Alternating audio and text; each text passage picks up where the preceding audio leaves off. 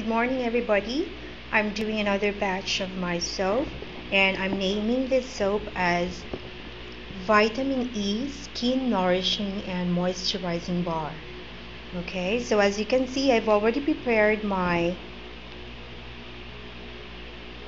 recipe before I start my soap making.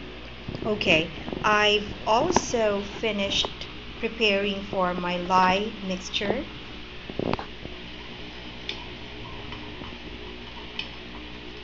the liquid that, that I used is of course it has to be per my recipe it says 350 grams. So what I did for the liquid is 250 grams of distilled water plus I added 50 grams of cranberry juice and then I set aside 50 grams of cranberry juice that I will put or mix together when I reach a light trace.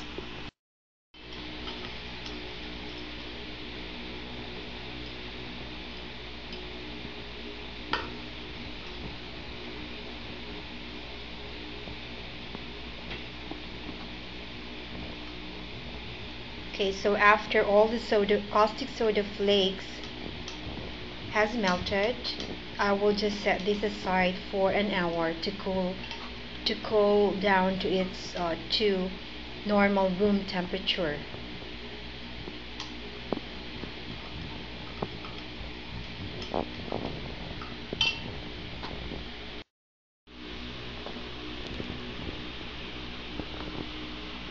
Okay, now you're seeing all the oils that I will be using in this particular project.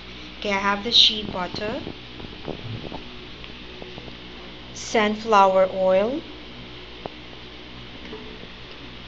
pure coconut vegetable oil, of course, my olive oil pomace, palm oil, canola oil, jojoba oil, and castor oil. I also have the cocoa butter. Now, the shea butter I will use this later for the super fatting.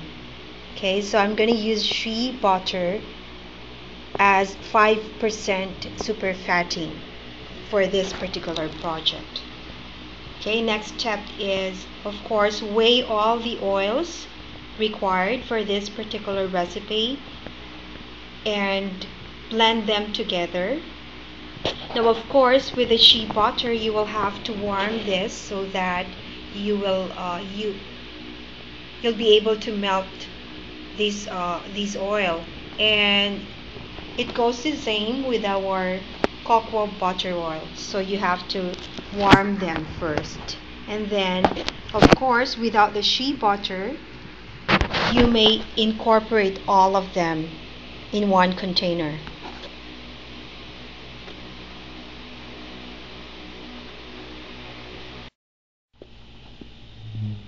There you go. I have placed all the oils that we need in this project in one container. So the only thing I need there is the coconut oil, uh, I mean the cocoa butter that I am warming. Alright, here's the cocoa butter. I'm still melting it. So we're going to wait for that and when everything has melted I'm going to put it inside in the container where all the base oils are. Alright I am now melting the shea butter. But we will use this later when we reach the light trace on our soap mixture.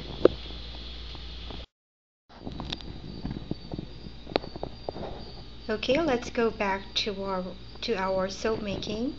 I still have here the cranberry juice that I set aside a while ago. And then I have here I'm going to try using chocolate as my scent. So this is a chocolate essential oil. And then I will also put some vitamin E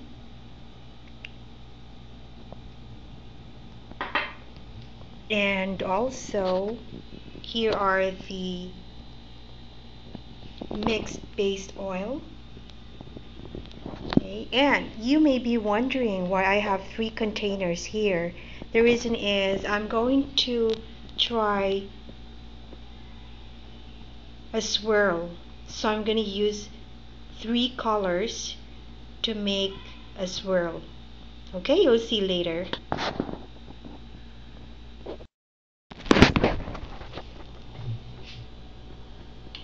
okay I'm now preparing my mold of course before you start your soap making be prepared with your log mold if you are using your log mold. Now if you are using a silicone mold then you don't have to worry. After this I'm going to line my mold with a wax paper. Then we're ready to make our soap I also try to baste my mold with vegetable oil but I'm using I, I usually use grapeseed oil for this. I just love grapeseed oil. Then you can now put your wax paper. Okay our mold is ready. Our lye is ready so it's now time to mix the lye mixture that we prepared an hour ago to our base oils.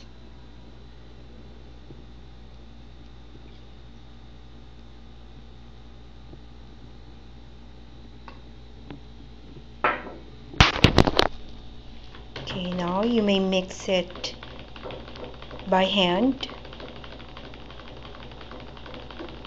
or manual mixing.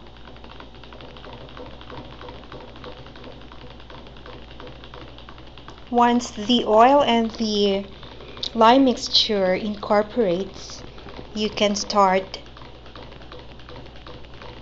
stick blending. Okay, it, it will turn into opaque like that.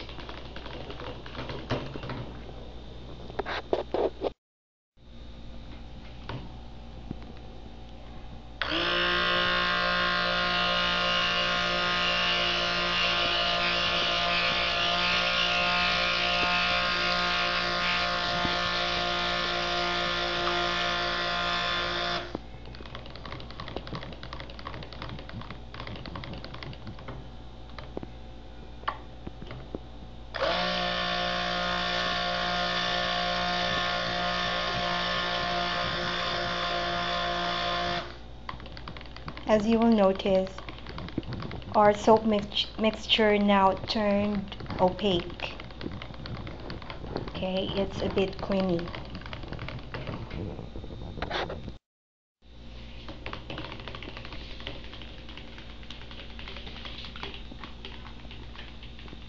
It's very important for you to check the streaks of oil that may be present at the bottom of your container and also on top of your mixture.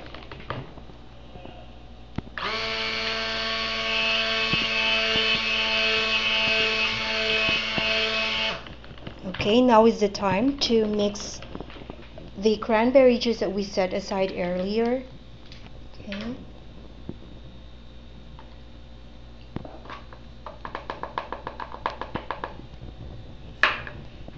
And mix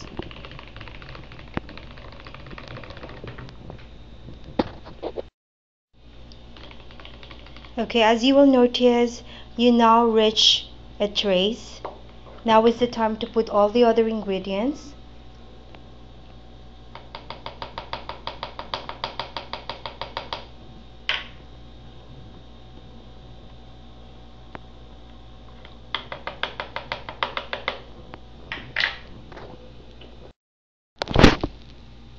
You may also put in your super fatting oil. This is the shea butter.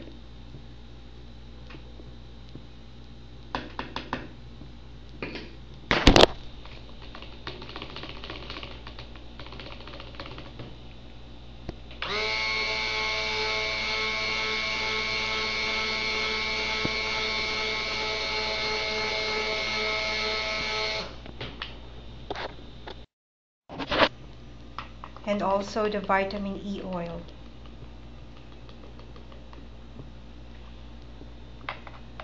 This oil is very thick.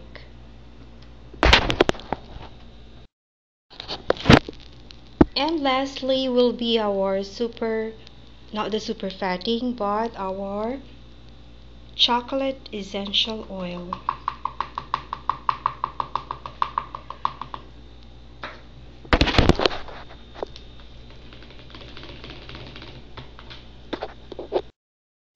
Okay, so we now achieve a creamy consistency on our soap mixture.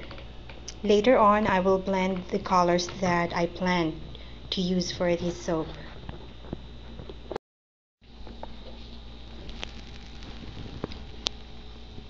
You might be wondering why my soap mixture is already in the mold. Well, because of time constraint and my soap mixture is actually a hard one. It traces really quick, so I had to do it very quick, so I wasn't able to document it. So as you can see, I have here, I have here. So right after I showed you that I already put all the other ingredients and that our soap mixture is ready for pouring in the mold on in the mold. Yes, I I I equally okay put some of the soap mixture in these four in the three containers remaining a portion of the original soap mixture. So I used green colorant here yellow colorant here and a pink colorant somewhere here. So I plan to do a swirl but since my soap mixture traced really quick I wasn't able to do that. So what I did is just I did as much as I could to layer my soap and here it comes. So we will just check out tomorrow what happened with my soap okay? So I'll see you tomorrow guys. Have fun soap making. God bless you